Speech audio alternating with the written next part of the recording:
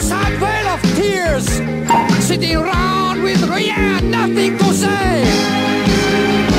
What the scientists say, we're just simply spiraling coils of self-replicating DNA. So just why, why are we here?